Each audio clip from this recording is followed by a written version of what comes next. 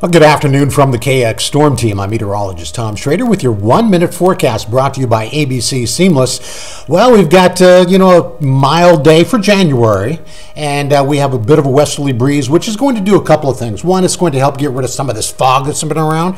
It's also going to bring back some wind chills. So if you're going to be outside, just know that you're going to notice the wind a little bit.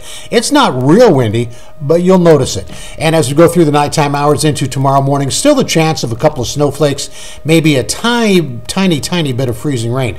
But look at this. Tomorrow morning, here we are. It's the weekend, and it looks like there could be some spots that are going to see sunshine and maybe several hours of sunshine tomorrow. Wouldn't that be nice? Uh, yeah, and then Sunday is probably going to be a little bit warmer, but by Sunday night, it looks like there's going to be at least a chance of snow once again. So, for the latest forecast, make sure you join us tonight for KX News.